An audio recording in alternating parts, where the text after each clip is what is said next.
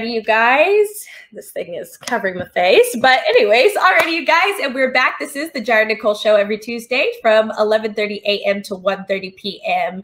For those of you who are just now tuning in, we are going to go ahead and bring on our second guest today, Miss Nadja Jones. So I'm going to get ready and add her to the stream. Hello. Hey, how are you? How are you? Long time no see. Yes, yes, definitely but I'm super excited to have you on. Thank you so much for taking time out of your day to come on the show. Um, Thank just, you for having me. Yeah, of course. Just to give everybody a little background on me and Miss Nadja's history, she was my boxing trainer, and she was giving me a workout at five in the morning. So, oh man, yeah. So she she's a I mean a phenomenal trainer, boxing trainer, and um, COVID, of course, like ev- like everything else got in the way and stuff like that. But I I do miss being in the I do miss being in the ring and stuff, and hopefully we'll get back to that. But I did want to just go ahead and start off by letting you introduce yourself to everybody, and then we will get we'll get right into the conversation from there.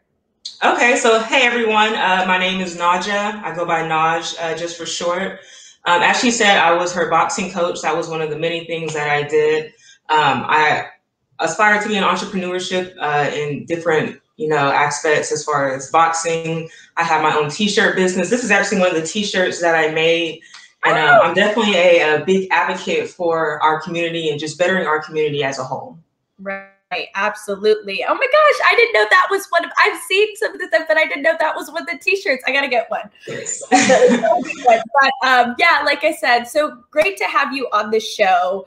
Um, I know it's kind of going to start off kind of light as we talk about, you know, you and the health and fitness, and it's going to get a little, you know, heavy um, yeah. for the latter half of the interview. So, um, just to start off, what kind of inspired you and led you to get in the fitness industry and specifically boxing? What kind of piqued your interest? Got you. So as a kid, um, I, I, was I was the tomboy growing up. Mm-hmm. I played all kind of sports. Um, so just me loving sports in general kind of started as a child, but boxing in particular. Um, I got introduced to boxing through an ex-boyfriend. That he he used to box, so he took me to the boxing gym and that's when I, you know, first started to learn. And so from there, I just fell in love with the sport and started learning more about it and eventually became a coach for it. Right, absolutely. So I know when it comes to boxing, did you, whenever like you would talk to people, maybe meet random people or just family and friends, when you said you did boxing, would they kind of give you a look like, really? Like, yes, very much so. They were like, boxing? like, why are you doing boxing? They thought I was really out fighting people. They were like, you're gonna mess up your face. I'm like, no, it's it's it's it's, it's not that complicated. It's it's just a different style of, of, of, of working out that you know has so many benefits, and I had to explain it to them like, you can box, like, grandma, you can box. Come on, like I see. I see old women at the gym. Yes, everybody can do it. Right. Yeah, exactly. Because I just thinking back, I'm just thinking back to me and whenever I told people, you know, I was like, yeah, my boxing trainer, like, what? Jirah, wait, what? You have all people? Because you know, they see me growing up doing ballet, tap, you right. know, gymnastics, cheerleading, all that stuff. So they're like, you doing boxing? And I just feel like there's this narrative behind it that like women can't do boxing, and especially if you're like a girly girl, you know what I mean? Right, that part. Yes. You, can't, yes, you can't. And then I also think too, seeing women of color too, you know, who look like you and I in boxing yes. in general, because that's actually what attracted me to you at first, because I was like, oh my god somebody who looks like me who's you know young like me she's doing this and i was like watching your videos and i felt so inspired and intrigued oh. and i was yeah, and I was like, I'm gonna reach out to her, and I sure did reach out to you, and then the rest was the rest. Yes, was- here we are now. Like, yes. Right. For you as a boxer, um, what is the mindset that it takes for boxing even let's say let's not even do competitively right? But just in in general because there like you said earlier boxing you don't always have to compete. And i think a lot of people maybe that's where the you're gonna mess up your your face comments and things like that came from right? But people don't realize boxing is like a full body workout. So but behind that when you're in the ring what's the mindset that a boxer has to basically have so I would describe the mindset as uh, having calmness in a chaotic situation. Um, so it's it's very more than just you know having physical abilities, but you have to take your mind to somewhere that is peaceful. You know, because you're in this chaotic environment. If your mind is chaotic, then things are going to go downhill. Um, right. But if, if if if you're able to lock in and, and focus and be disciplined and just mm-hmm. control your mindset, um, that's something like just in boxing ring itself, but that is something that, you know, will follow you on your path of life in general. So whenever you're in a chaotic situation, you'll think back to boxing and go, okay, if I can do it in the ring, you know, I can calm myself down in this particular situation and move forward. So mm. that is definitely the mindset anybody who, who, who boxes or does anything competitive needs to have.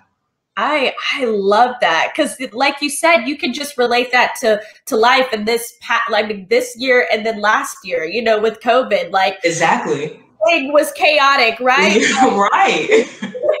we weren't staying calm. That's we were buying toilet tissue. We were raising our minds. Exactly. We were freaked out, losing our minds, going left to right. Like what? But I, I, I just think that's a good um, staying calm and like keeping calm and a category. I just think that's a good like I guess a motto or way of you know a way um, what I'm saying a quote like that mm-hmm. you can think of in terms of dealing with life. I I love that you that you said that. So for you, have you found a lot? Have you met a lot of other women? Uh, boxers, or even have you seen a lot of young girls uh, doing boxing? Is that something you would want? I know you're a mother, your daughters to pick up. Have you thought about that? yes, that's something I'll, I'll definitely train uh, mo- both of my um, little girls to do. Me and my seven year old have already started. Um, yeah, so she she loves it. Um, and then you know I have a baby who's 18 months, so we'll definitely get her started. But I don't see a lot of women uh, in boxing, um, women like you and me, just your regular everyday right. women who, who, who are able to box. So that that is something that I do want to start in the in the future on, with my mm-hmm. plans uh, to start, you know, like a women's team and, and and teach them that you know this is also self defense. This is you know stress mm-hmm. relief. Just give them the overall benefits, you know, of boxing. Mm, absolutely, absolutely. I love what you said about that because, like you said, you you especially even as um, when we're young, right? And kids are about to be in kindergarten, parents are already thinking, I want my daughter to be a cheerleader, or I want my daughter to play soccer, I want my son to play football, basketball. But rarely do you hear boxing, you know, kind of come up as this is what I want my children to do. And I know a lot of times, like you said, I think it's people thinking like, okay, I don't want my child like going to school bruised up, you know, on the face, or it's too, they might think it's too much for like children. But I see little, little girls on Instagram, like, literally in different countries here in the US, like so quick and, and, and moving. And I think it's really key and important for people to not just look at, boxing as something where it, it, you have to compete and fight, but it can be a, a, a, full body workout. So, can you share with us a little bit about some of the benefits or certain parts of the body, like from that you found when you were boxing, that kind of helped you? Like, most definitely. So, so like you said, boxing is full body. Like it doesn't look like it. Most people think boxing is is just with the arms, but no, I remember my, my first boxing class because I've, I've always worked out. So I was already, you know, physically fit when I um, started boxing. Uh, I was just a little overweight from having kids. But I remember after my first, you know, one hour session, the next day my back was sore, my abs were sore, my legs were sore. And all I did was, you know, punch a bag. So I was like, oh wow, this is this is very beneficial uh, for me physically because that was something that I was seeking was um, a high intensity workout, but that something that just wasn't as simple as running or sprinting, you know, right. something, you know, more fun, I, I, guess you could say. Um, and then as I started to pursue it more and more, that's when I noticed the other benefits of it, such as the stress release. Like when, whenever we did that session for me and you, um, how you would go calm, calm, and then I would tell you, okay, punch it really hard, re- release right. your frustrations. Right. And you know, that's how we ended our session. And you left feeling like, oh wow, like today's gonna be a good day. Like it's it's very beneficial. And um it, it also helps with depression and and it, it also fights dementia. Like it is is is, is so beneficial. It has more non-physical benefits than physical benefits. And that's where I think the misconception is people just see it as, oh, you're promoting violence when when really you are doing the opposite. You are training your kids how to be disciplined, especially during chaos. Right, absolutely. So let's kind of segue into because I know boxing and then and then violence and then we're kind of going to talk here about domestic violence. So i did want to just kind of in the beginning um, for viewers because they don't know if you can kind of share your story and then i'll ask you the question from there. So just kind of starting off the biggest question i know most people have if they're on the outside looking in, family and friends, when they start suspecting, right, a loved one is in an abusive relationship, they don't know what to do. You know, there's times where people they mean well and they're kind of like, Naj, get out. Like, you know, don't talk to them, blah, blah. But it's it, it's it's it's much deeper and it's harder than that to to just say, you know, get out, leave. And oftentimes people, you know, the family members get get upset and frustrated because they don't know why the person is staying and things like that. So I just kind of wanted to let you kind of guide the conversation in the beginning with your story, and then we'll go and answer those questions that I just mentioned.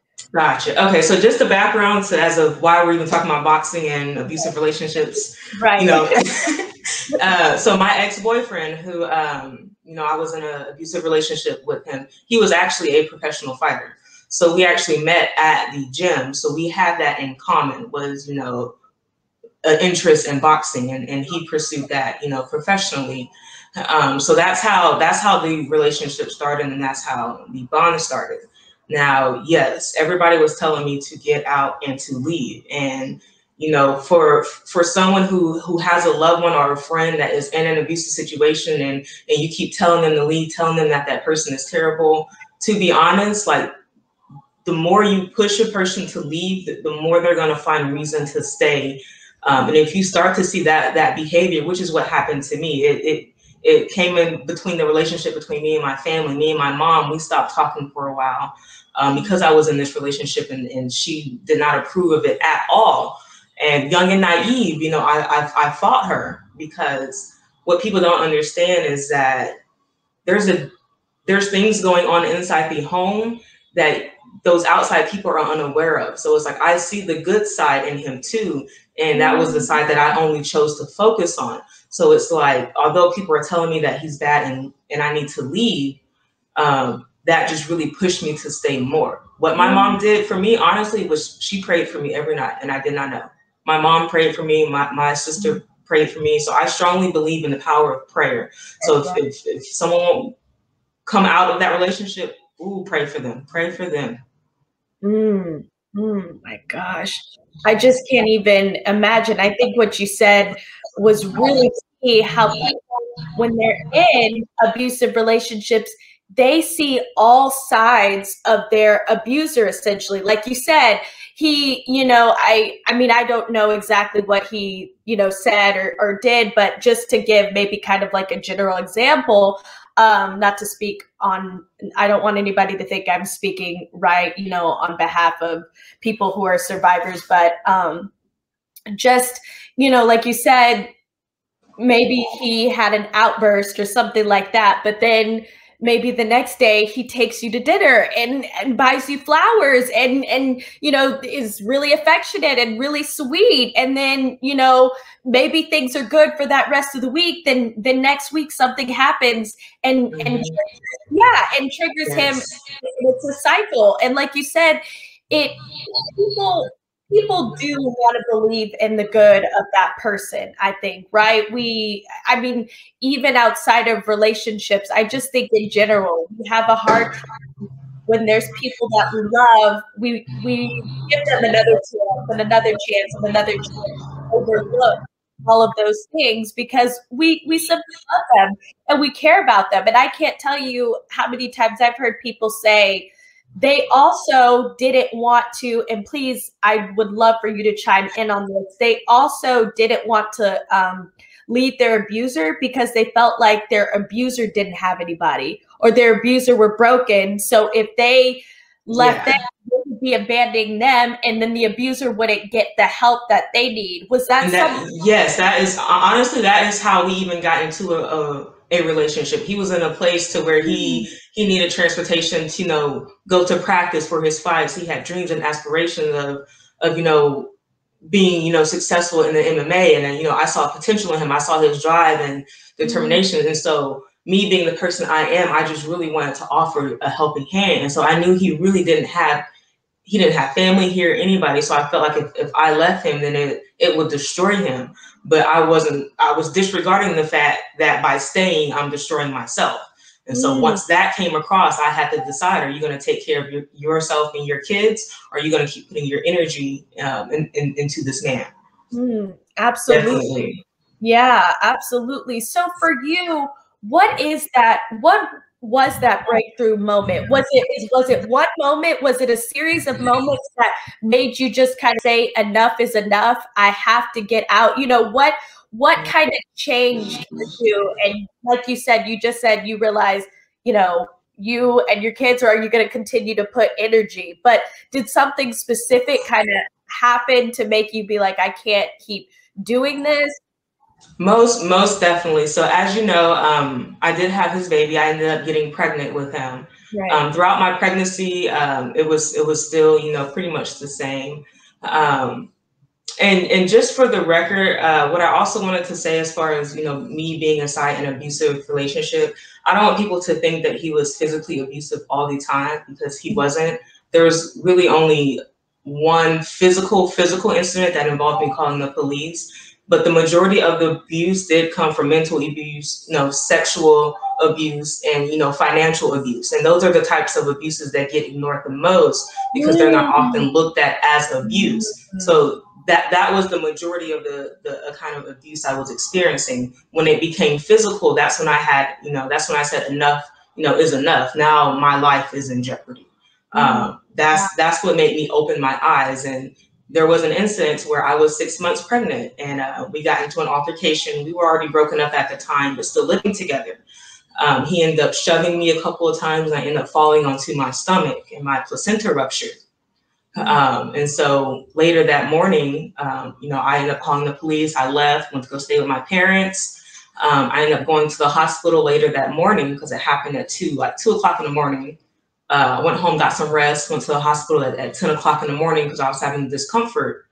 Um, long story short, I ended up having an emergency C-section that night uh, because my placenta had ruptured from me falling onto my stomach.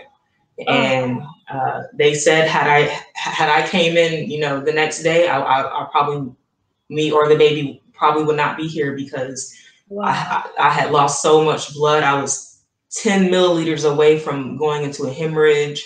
Um, so I was I was very thankful to have you know gone to the hospital through a friend's direction. Actually, of, of I, I, went to go visit a friend I have entrepreneurship friends. So was going to go pick up some T-shirts, and he really encouraged me.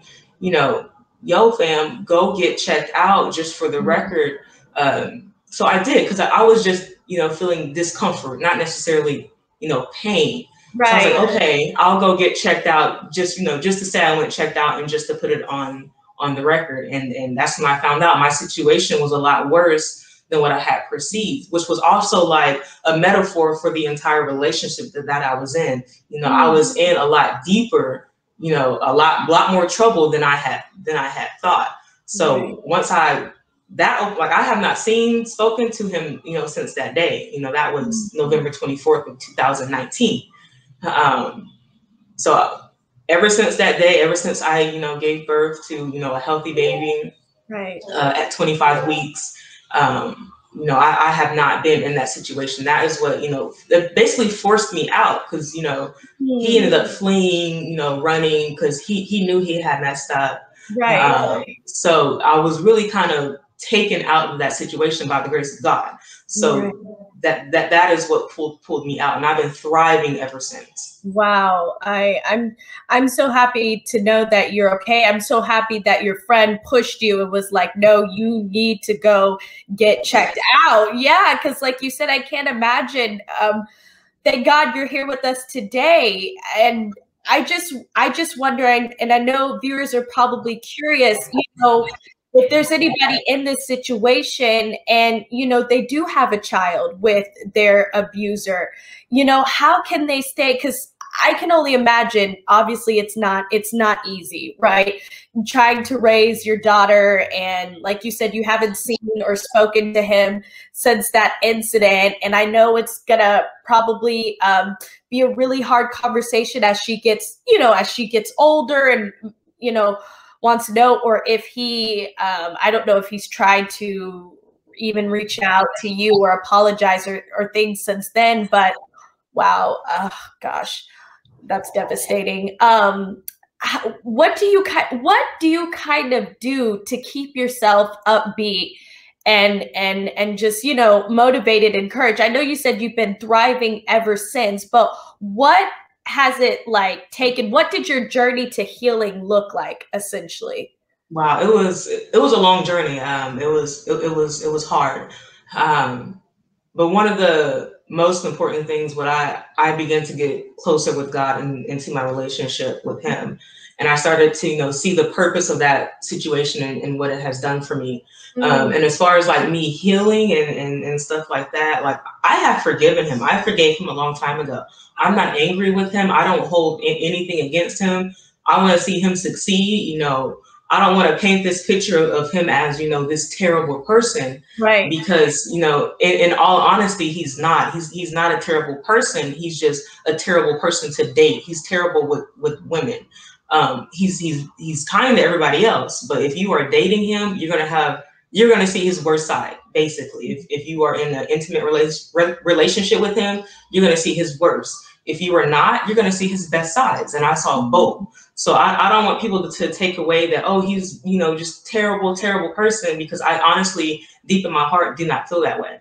Um, I think he's, you know, terrible today. And as far as you know, explaining this to my daughter as, as she get as she gets older, because I know she's going to ask those questions. Right. I'm just going to have to be a, extremely honest with her. I'm going to explain to her who he is, um, why he hasn't reached out, and if she wants the opportunity to reach out, you know, I, I may end up helping her in that situation because he does have he does have other kids, and okay. and you know he he he does try, you know, with with them. Um, he has not tried with me or or with her. Has not asked about her or has not seen her. Wow. Nothing. But like I said, I don't want to hold anything now against him. I don't know what the future holds. I, I don't know what God has in store from him. So if if if it does come so that you know he can be a part of her life, I won't stand in the way of that.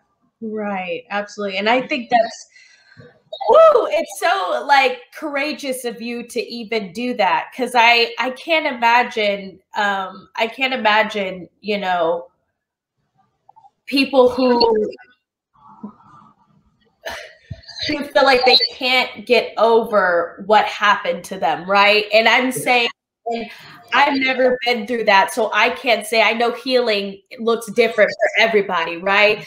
Um, there's there's a lot of times there's there's people they they want to forgive, right? But they just can't get past what the person has done to them. So for you, in terms of forgiveness, I know you said you got closer to God, but how if there's anybody who is who went through an abusive relationship right now or is a domestic violence um, survivor and they're struggling with forgiveness what would you say to them? How would you encourage them to just really let it you know not not necessarily forget right completely what happened but to be able to forgive that person and fully let them go? Because i i can only imagine for you it probably was kind of freeing when you did get to that to to like kind of relinquish all of that. So what would you say to anyone struggling who maybe they've been out of the relationship for like years now but they still you know hate that person's gut? Or maybe the person maybe they don't feel bad for them right? Maybe they don't feel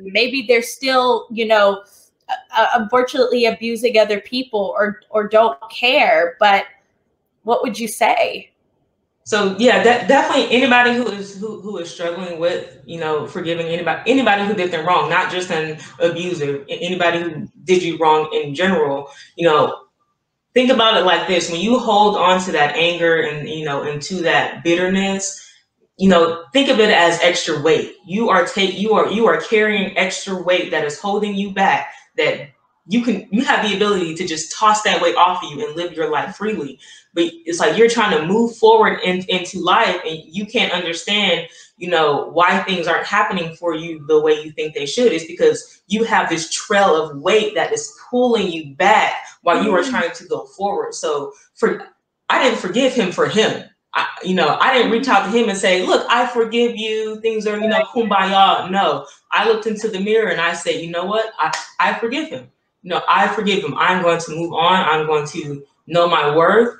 I'm going to look at this situation as a lesson and, and take what I have learned and, and, and, and take what it has taught me and take the good part of that and leave the bad and take the good parts with me and, you know, build my empire with. But I think some people are trying to hold on to that bitterness and mm-hmm. wondering why they, they can't, you know, thrive and persist in life. And that is the reason why.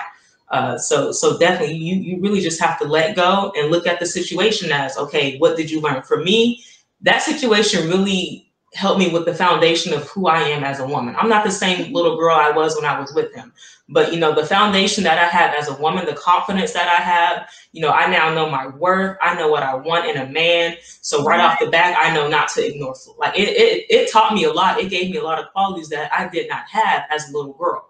So I could like I, am not that same girl. If you knew me back then, you don't you don't know me now. Uh, so you you really just have to take really look at the situation and ask yourself, what are the what did I learn? What did this do for me? And mm. focus on that and take that with you and leave that dead weight behind.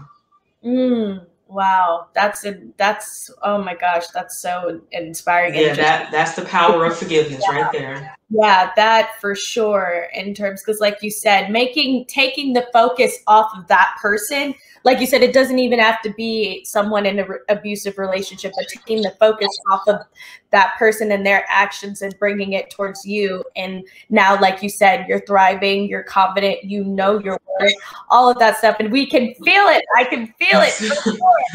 so, so, so for, for, for, for someone, because like I said, for someone who's not um, who's never experienced or been in an abusive relationship or on the outside looking in a lot of times when you guys um, mention survivors or um, victims will mention um, there were red flags that I, that I ignored or there were certain personality traits that I ignored. Can you please elaborate and share with us some of those things where you know, um, maybe they kind of were red flags to you, or you notice like, okay, maybe he's got a little bit of uh, a temper, or you know, or um, maybe he kind of has a tendency to like control. Like, what are some of those things that you can share with us? Because, like you said, it wasn't just you know just physical just, you know hitting or pushing and stuff. You said there's mental there was financial there were others. So what does that look like? If you could give us like maybe concrete examples or kind of paint us a picture. Yeah definitely. Yeah there there were a lot of red flags in the beginning. A lot of red flags that i saw and i was like oh no i'm i'm, I'm colorblind. I, I can't see.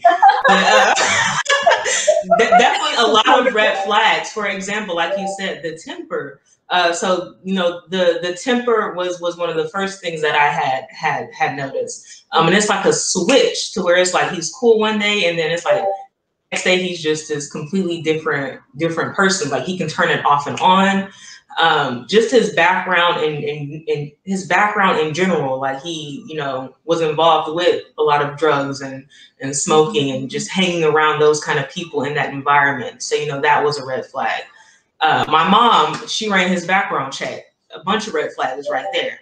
Um, you know, previous arrests, previous, you know, instances with the police. So, you know, I, I definitely knew, you know, what, you know, what he was, you know, and then as far as how he was with women and then uh, very flirtatious and he, he had a sex addiction. So um, that was a red flag that I had saw. He he was very manipulative. So, and, and that is something that I also noticed, you know, early on. So I saw all the red flags. And that is another thing why I had to forgive him was because forgiving him was also like forgiving myself because I saw the red flags way before I got pregnant. I saw the red red flags before we moved in. And, and it's like I refused to acknowledge them and refuse to leave. Um, and so it's like I kind of had to look at myself and be like, okay, I, I'm partly responsible for everything that I went through with him because it's like I knew, you know, what I was getting myself into, but it's like I, I chose to ignore it. So I had to take some responsibility too. Another red flag that I think that women need to um, pay attention to is is past relationships that that he's been in and the relationship that he has with his mother if, if those relationships you know are very rocky that you know that is a red flag that you need to investigate because if, if if he can't you know have a good relationship with his mother that kind of sets the tone for every mm-hmm. woman that is going to mm-hmm. enter into his life. And you know i had to really really dig deep and say I, I can't raise a man. You know he there were some things that did not get crossed off the list when he was a boy. And so you know those mm-hmm. things are you know transferring on into his relationship with women. And i said i don't have to be the recipient of that. I don't. I don't have to take that. I deserve better. You know even though it's, it's not it, it's partially you know not his fault the way he is he is. But at the end of the day it's like although i can understand it i don't have to accept it. And so once i mm-hmm. realize i don't have to accept it is is is when i move, moved on and moved forward. Wow. What is it that you think, what is it that you want the world, people in general, to understand about domestic abuse? Because I know I see it all the time on Facebook. Someone will, you know, post their story and um, I see it actually a lot more from men will comment comment and be like, you know, I don't understand why women stay. I don't understand why they say the red flags are there, just leave. Or they're like, if I would have known that, I would have like came and tried to beat him up. You know, just just things like that. But what do you what do you want people to understand and know and you feel like it's kind of misconstrued? So definitely the the big question as as far as to why do we stay?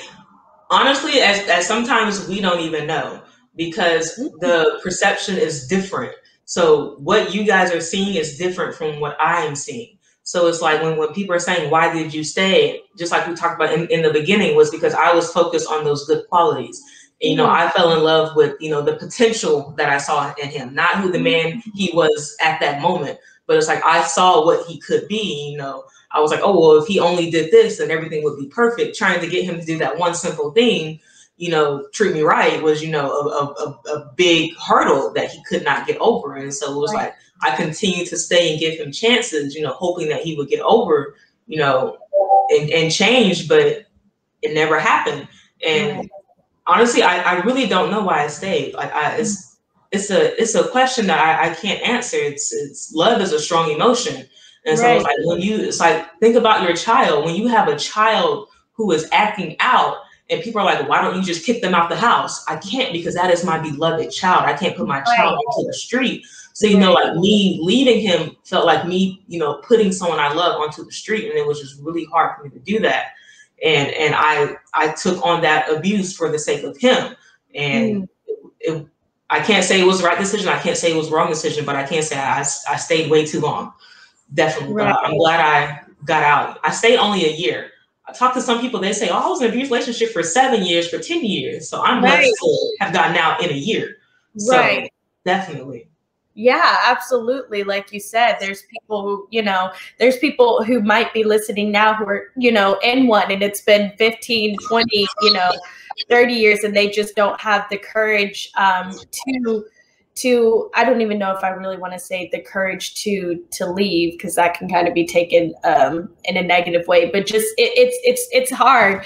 And and it's definitely a lot and like you said i think it makes it even harder when you do have the people obviously who know you and raised you.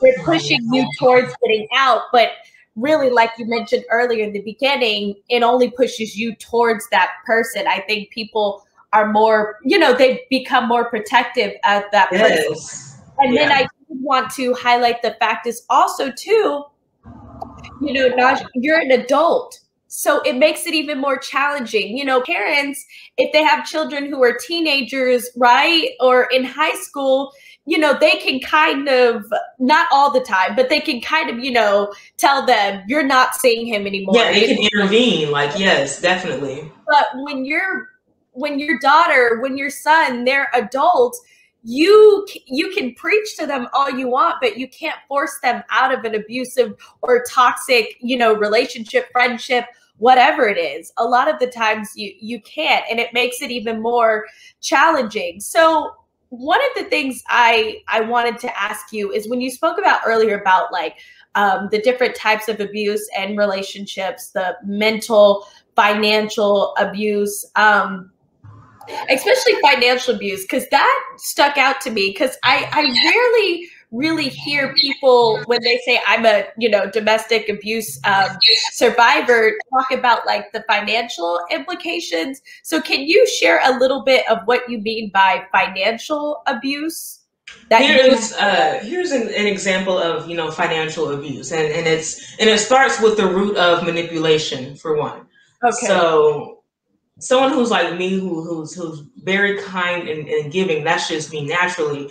Okay so he he was very very manipulative and fed off of off of that quality of me. So mm-hmm. whenever we moved in together for example whenever we moved in it was you know agreed that he would cover rent i would cover the other stuff.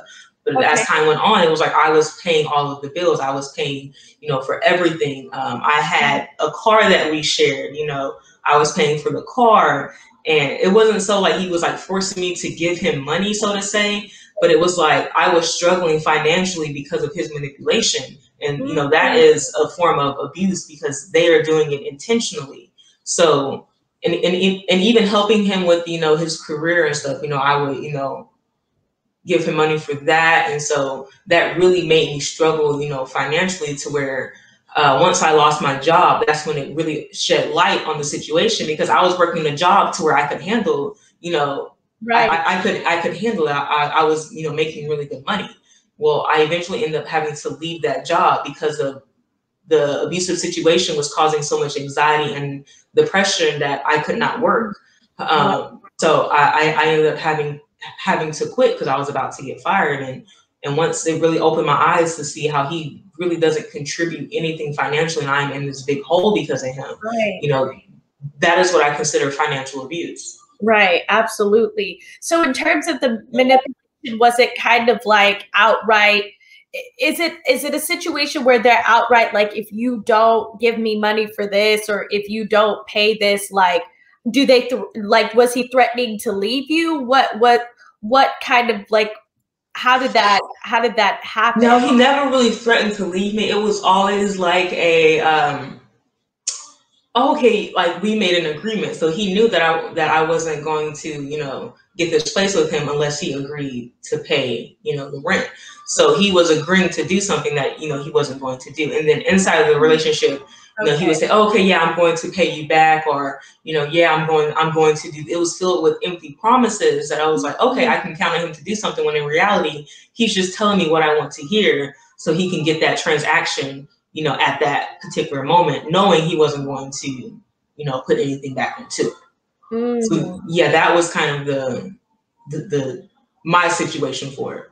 Gotcha. I understand. So now, you know, it's it's it, has been a, over a year, right? Yes. It's been a little bit over a year. Why do you feel like it's so important for you to speak out and and share your story? Because um, I know there's a lot of times where people who are in um, abusive relationship, sometimes your close family and your friends, they won't even know it for years and years and years.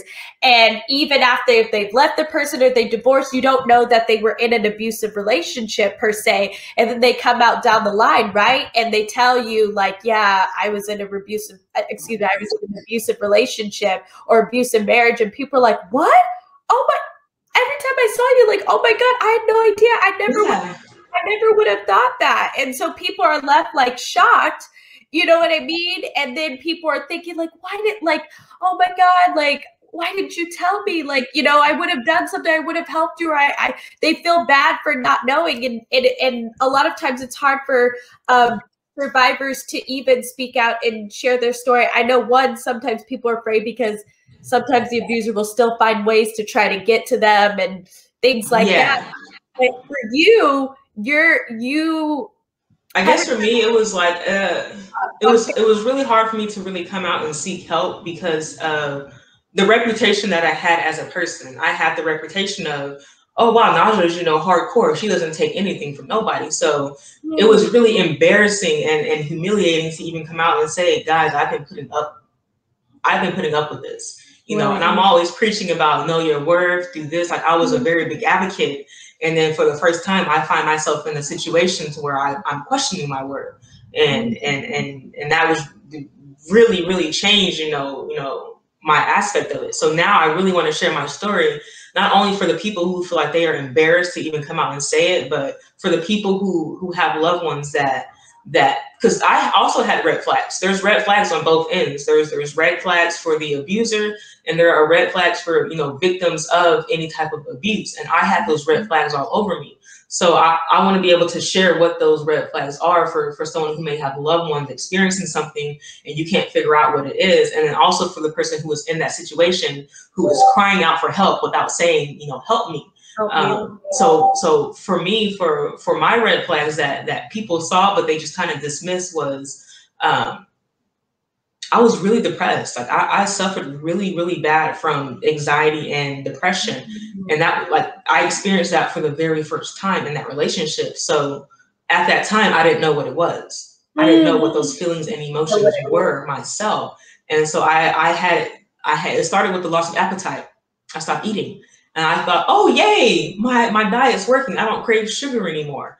Well, oh. eventually, it, I was like, I'm doing good, and so I started losing weight. I was like, yes, things are working. Well, it it I, it began to happen excessively at an excessive rate to where okay it wasn't just sugar now i can't eat breakfast now i can't eat lunch dinner i'm not hungry at all you know the thought of food makes me nauseous I, I'm losing 60 pounds in three months. Like I and I'm a, I'm pretty thick girl. And so I knew there was a problem was when my butt was flat. I was like, okay, I need to go to a doctor. Something's not right.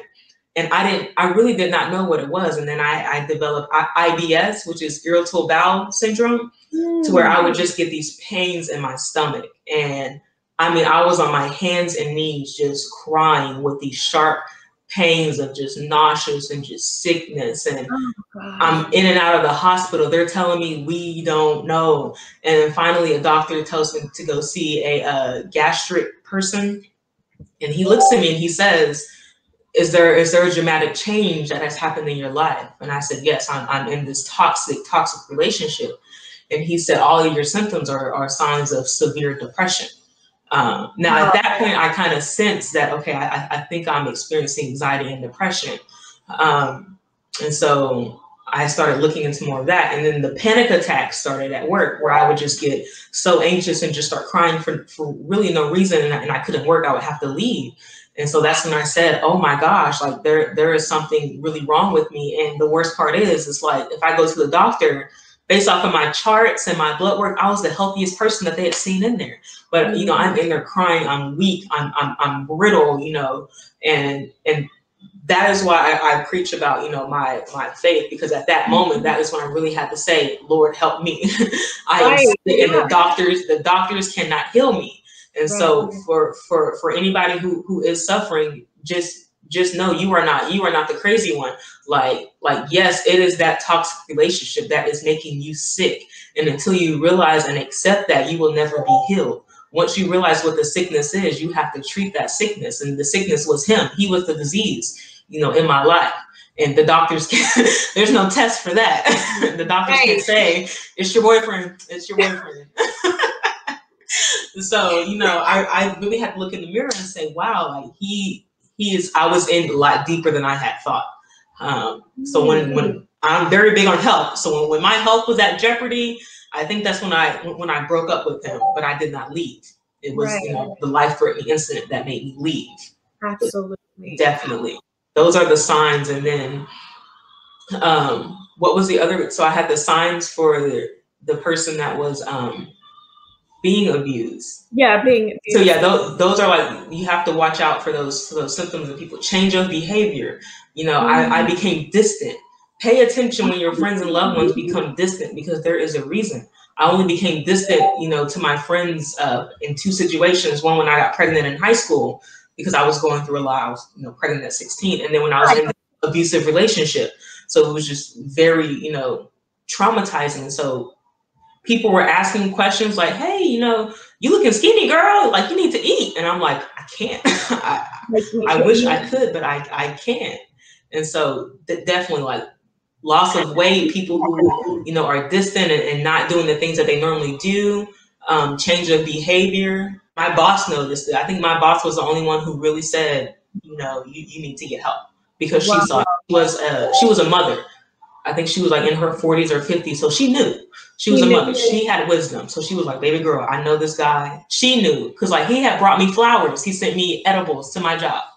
Wow. And so everybody was like, oh my God, cool. And my boss said, my boss said, what did he do to you that made him send you flowers? And I was like, oh wow, she she knows. Mm-hmm. She knew right off the bat. Mm-hmm. So be my boss. Pay attention to people and and if someone needs help, it's okay to ask them, hey, like is everything okay at, at, home? Don't ignore it. We have to. We've gotten to this mindset to where we just mind our business. No, no, no, no, no. If it's if it involves your loved ones who's who's changed of behavior, then then it's no longer I'm gonna mind my business. No, no, no.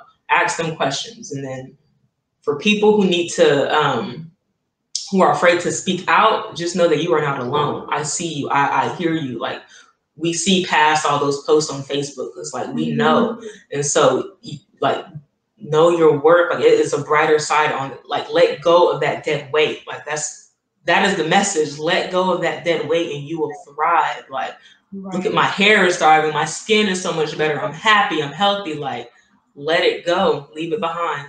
Absolutely. Gosh, what you said is extremely powerful. And and and like you mentioned people who know you, your friends and stuff, they start picking up on the thing to watch out for the change of uh, change in behavior because I can't imagine the situation where um, if someone, God forbid, chooses who's like who was severely depressed like you chooses to take their own life, or or um, uh, if somebody loses their life in an abusive relationship, you know, I can't imagine the support system or family and friends on the outside, you know, would probably be beating themselves up saying, if I only, you know what I mean? If I only right.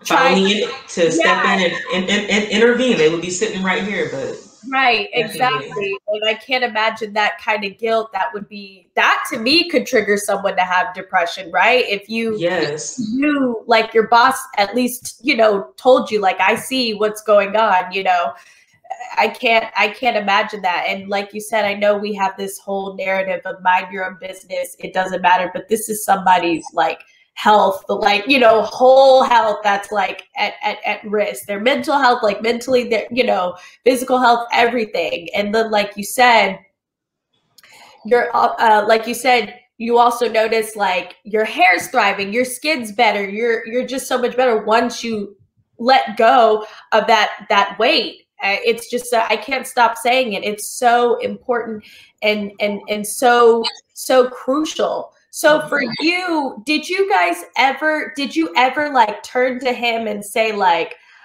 um, because like you said you knew based on how he grew up going through some things as well. Did you ever um, like turn to him and say like i think you need to get help or maybe we need to get help together or did that ever cross or was kind of like that's something he wouldn't be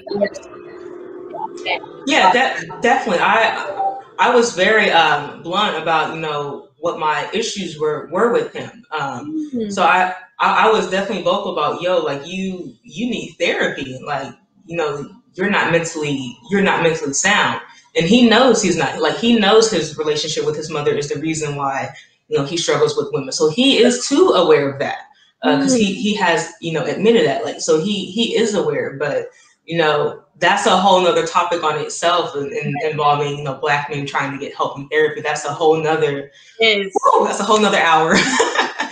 But but yeah I, I was vocal. I, I even said to him i said you know i i have been been good to you this entire time and you're pushing me away. I said there's going to come a time in your life to where you're going to have nothing and nobody because you you know sat on the people that you know defended you the most. And yeah. sadly to say that that is like it was slowly a trickle effect. You know, after our relationship ended, you know, he wasn't, you know, gaining as much success in the boxing world or with other women. They actually reached out to me, was like, is he crazy or am I crazy? No, girl, he crazy. He crazy. So definitely. Right.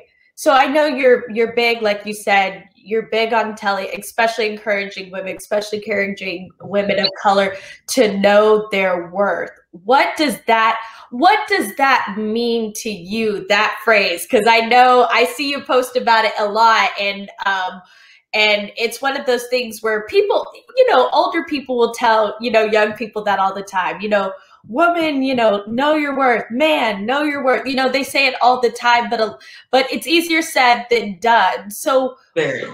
when you think of that, what does that mean to you? What does that look like to you? The person truly knows their worth. So a, a, a person who knows their worth um, is someone who who knows what they deserve. Like, here's what I deserve. I deserve to be loved. You know, I deserve to be treated like this. Here are my list of things that I deserve. So a woman who knows her worth, if you je- if you jeopardize any of those, she she's gonna cut you off and she's gonna let you know like you have to go because you're not, you know, giving me what I deserve. This is my worth.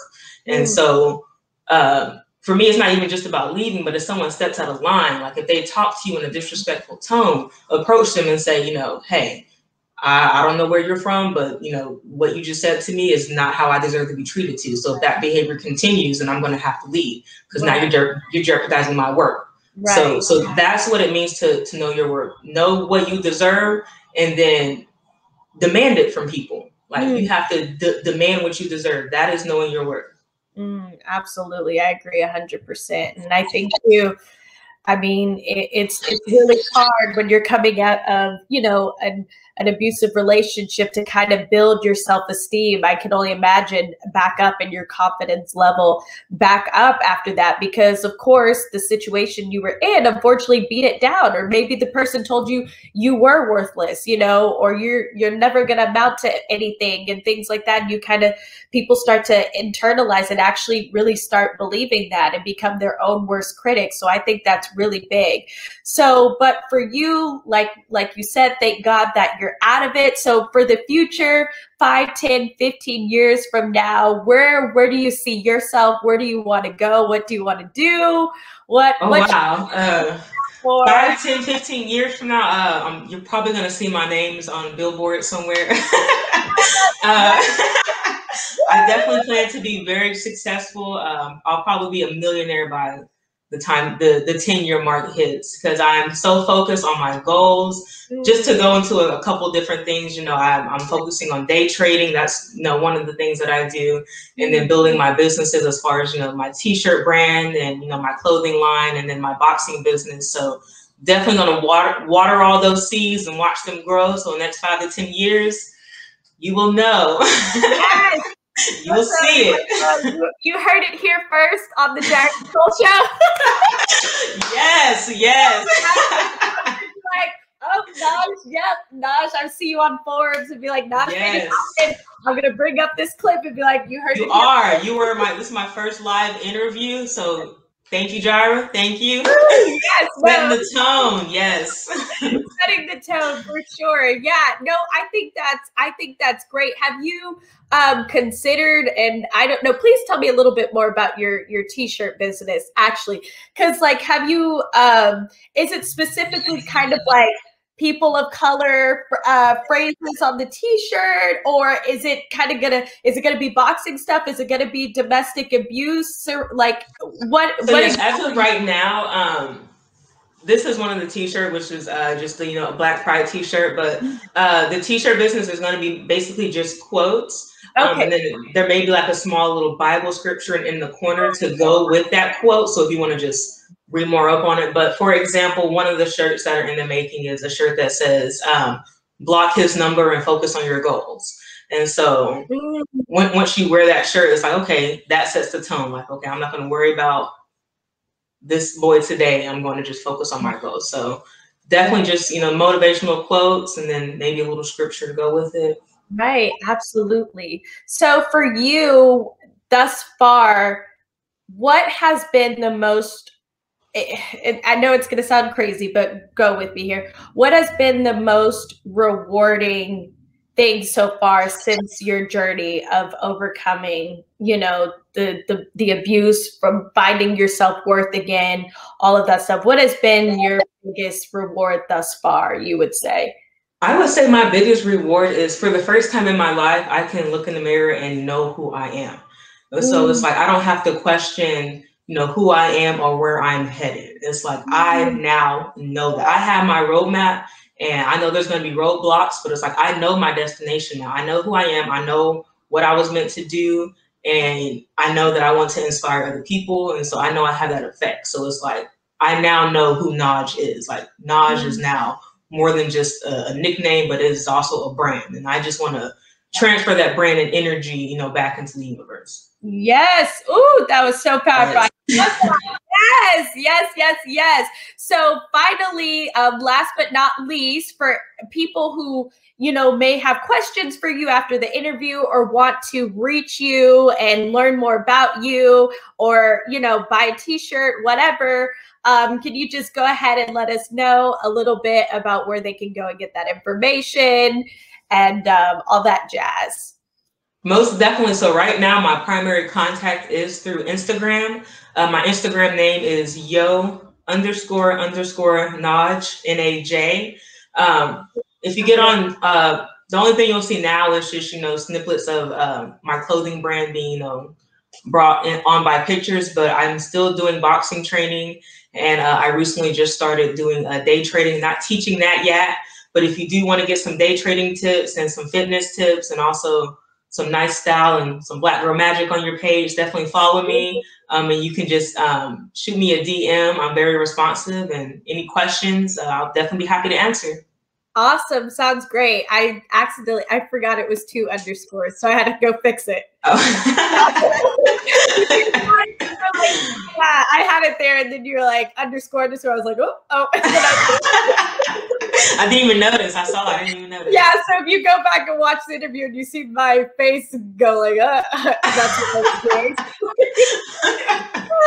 that was definitely a typo, but I fixed it. So, like she said, you guys, um, her information is right under there. If you have any questions for her and want to learn a little bit more about her, definitely uh, follow her for sure. But thank you so much, Naj, for coming on this show today and sharing your story with us. Of course, we are we're rooting for you. Uh, we are here for you as well, for sure. And anybody who's going, uh, anybody who's in the situation or out of the situation, I know you can definitely reach out to Naj and she'd be more than happy to talk to you and just, you know, pray for you, encourage you, and all that stuff. Because we definitely, especially as um, women in general, you know, we really need to just continue to support each other and and be there for one another um, as well, and, and and also men too. You know, I think a lot of the times we we leave men um, we leave men kind of out of things, but I would love to have you back on the show for sure and to talk about specifically men um, African American men and African men and you know men of color getting therapy and and getting help because in our community um, it's definitely one of those kind of stigma things where they you know putting it out there right in public Yeah. that they need help or talking to an outsider about problems you know a, a lot of people of color find it silly and they they don't need it you know they yeah. just think it's a waste of money and time um, and it, it really is a stigma but mental health is is is real and trauma is real like you said earlier in the show if you don't deal with that trauma you'll find it manifesting in your future mm-hmm. relationships so um, for sure so that was a really key point but thank you so much for coming on the show today.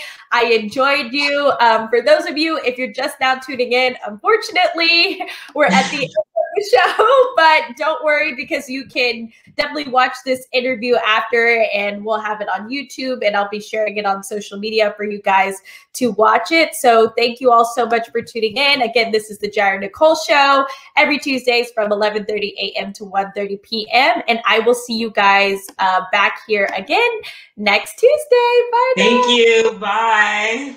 Of course.